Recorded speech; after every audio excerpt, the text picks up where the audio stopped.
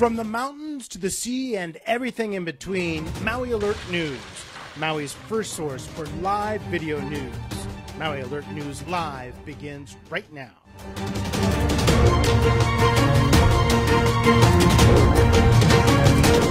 Good morning, everyone, and thank you for watching Maui Alert News Live in the Maui Alert News studio this morning.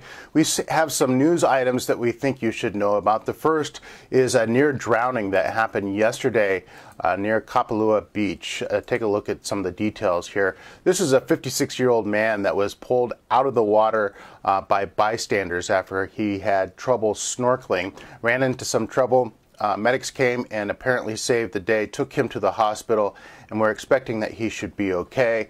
It is a good reminder, though, that those uh, uh, waves out there can be strong, and uh, while things look disarming, we have a lot of people that uh, don't make it out, aren't as lucky as this 56 year old in Kapalua Bay. So please remind your friends, family, and visitors to take it easy out there. It is uh, very important to know the water before you go out, know your limitations as well.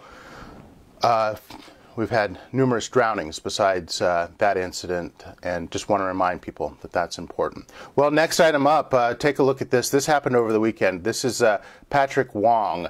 He is the um, the county's top civil guy, a top civil attorney, and he was uh, arrested over the weekend for abuse of a household member. That happened at a residence in Wailuku, according to uh, the Maui County Police Department. And uh, he is now off the job. He has uh, been suspended, apparently pending further information and investigation. Uh, Wong was arrested and released, according to police officers.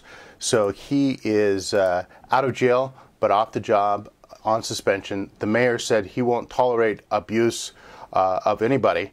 And uh, we don't know the details of this. We are working to gather more information about what Mr. Wong might have done uh, to escalate the situation into an arrest. So, of course, he is innocent, obviously, under the law until proven guilty. So we'll operate under that assumption. But either way, he is off the job this this morning and has been um, over the weekend. And uh, the mayor saying he is not going to tolerate anything like that. Um, so I want to turn from Wong to weather. Uh, let's take a look at what's going on out there in the weather world. Uh, we are expecting today temperatures around 81 degrees for a high, but it's going to be windy. So uh, maybe not a lot of rain, but uh, definitely some wind to contend with, with uh, sustained winds in the mid 20s on a good portion of the interior side of the island and even into the Kihei area. Gusts up to 29 miles an hour.